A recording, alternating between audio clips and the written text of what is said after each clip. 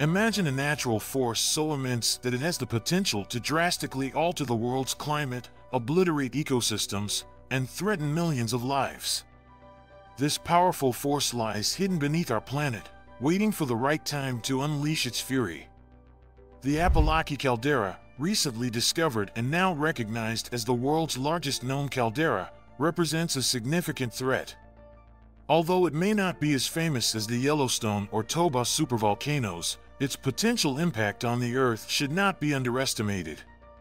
In today's video, let's delve into the dangers of the Apolaki caldera, compare it with the Yellowstone caldera, and explore the devastating consequences of a possible eruption. Don't forget to click on that subscribe button and like this video as it's the best way to support this channel. First, let's compare the Apolaki caldera and the Yellowstone caldera. We'll explore the similarities and differences between these two geological giants by examining their locations, sizes, structural formation processes, potential eruption impacts, and historical eruption records. The Yellowstone caldera is situated in Yellowstone National Park, which extends across parts of Wyoming, Montana, and Idaho in the United States. Primarily located in northwest Wyoming, it is part of the Greater Yellowstone Plateau. Meanwhile, the Apolaki caldera is located on the Benham Rise, an underwater volcanic plateau in the Philippine Sea, east of the Philippines' main island, Luzon. Due to its underwater location, the Apolaki caldera is hard to reach and is therefore studied less compared to Yellowstone. The Yellowstone caldera measures approximately 55 kilometers in diameter and is one of the world's most significant active volcanic systems, renowned for its geothermal features such as geysers, hot springs, and fumaroles. In contrast, the Apolaki caldera is much larger, with an estimated circumference of about 150 kilometers, making it the largest known caldera on Earth and dwarfing the massive Yellowstone caldera. Apolaki is so large that no comparison is available on Earth. Scientists had to draw on comparisons with calderas from Venus and Mars.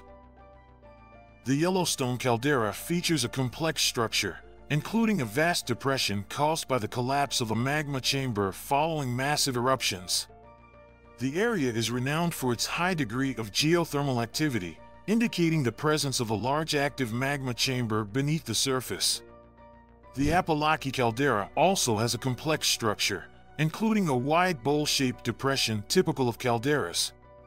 Its underwater location adds additional layers of complexity, with volcanic features such as vents, lava domes, and hydrothermal systems. The caldera floor is predominantly composed of basaltic rock, reflecting a history of fluid lava eruptions. Over the last 2.1 million years, three massive volcanic eruptions have shaped the Yellowstone caldera.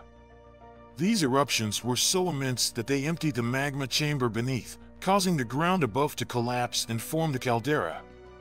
The most recent of these eruptions occurred approximately 640,000 years ago. In comparison, detailed historical eruption records for the Apolaki caldera are rare, due to its underwater location and relatively recent discovery.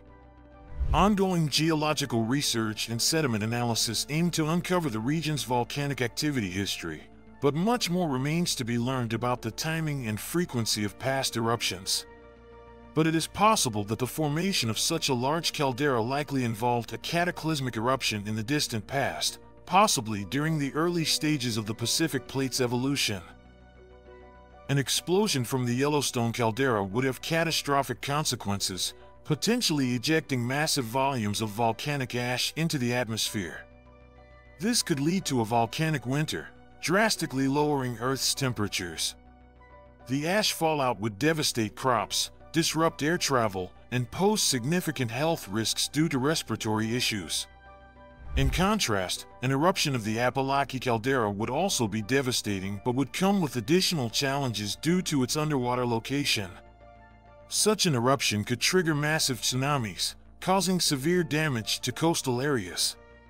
To understand what might trigger an eruption of the Apolaki caldera, it is essential to delve into geological processes, tectonic activity, magma dynamics, and the unique conditions of its underwater setting. The movement of the Earth's lithospheric plates can create significant stress within the Earth's crust. The Apolaki caldera is situated on the Philippine Sea Plate, which interacts with several other plates, including the Eurasian and Pacific plates. The convergence of these plates can generate considerable geological stress. The subduction of the Philippine Sea Plate beneath neighboring plates can lead to stress accumulation and magma formation. The melting of subducted oceanic crust can produce magma, which may eventually rise to the surface.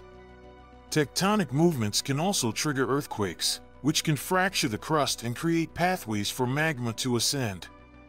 A major earthquake in the region could potentially trigger an eruption by disrupting the magma chamber beneath the Apolaki caldera. The continuous injection of fresh magma into the chamber from deeper within the Earth's mantle increases pressure. If the rate at which magma is injected exceeds the rate at which it escapes, the pressure will continue to rise. When the pressure in the magma chamber exceeds the strength of the surrounding rock, the rock can fracture. These fissures can create pathways for magma to reach the surface, potentially leading to an explosive eruption. When seawater comes into contact with magma, it can trigger explosive volcanic activity. This happens because the interaction causes rapid water evaporation and fragmentation of magma, leading to highly explosive eruptions. Such violent eruptions are characteristic of underwater volcanic environments. Clusters of minor to moderate earthquakes, known as earthquake swarms, can precede volcanic eruptions. An increase in tremor activity may suggest that magma is ascending toward the surface. While less common, human activities such as deep sea drilling, geothermal energy extraction, or explosive detonation can potentially disrupt the magma chamber or impact the structural stability of a caldera.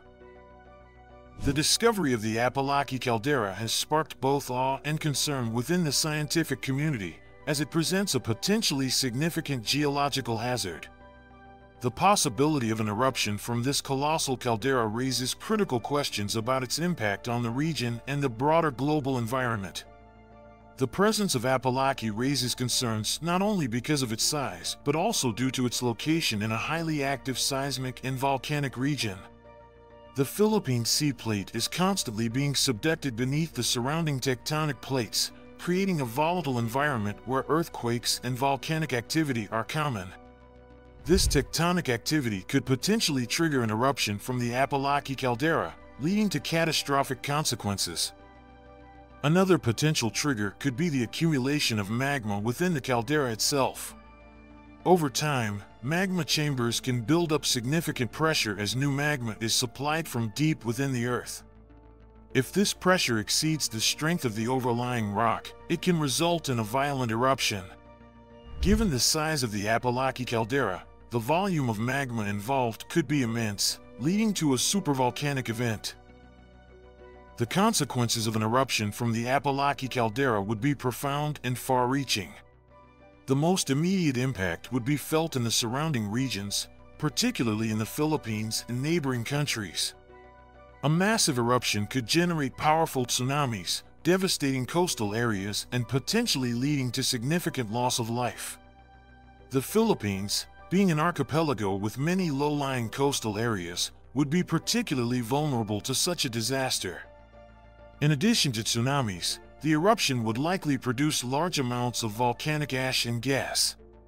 The release of ash into the atmosphere could have severe consequences for air travel and agriculture, as ash clouds can spread over large areas, disrupting flights and contaminating crops. Furthermore, the sulfur dioxide released during the eruption could lead to acid rain, damaging ecosystems and water supplies across a wide region. The global climate could also be affected by an eruption from the Apolaki caldera. Supervolcanic eruptions have been known to inject vast quantities of sulfur dioxide into the stratosphere, which can lead to a phenomenon known as volcanic winter.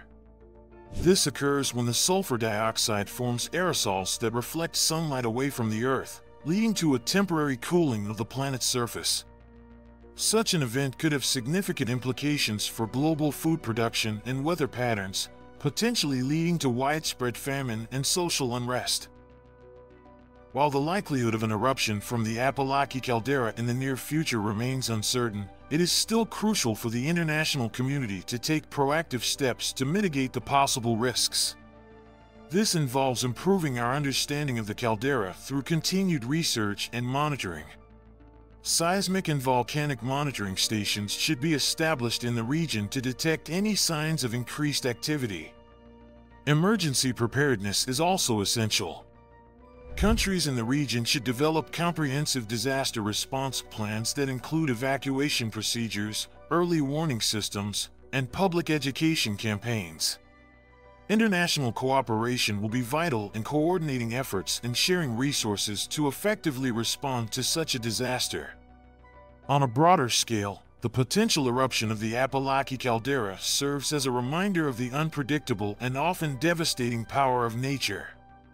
It underscores the importance of investing in scientific research and preparedness to mitigate the impacts of natural disasters. While we cannot prevent such events, we can take steps to reduce their impact and protect vulnerable populations.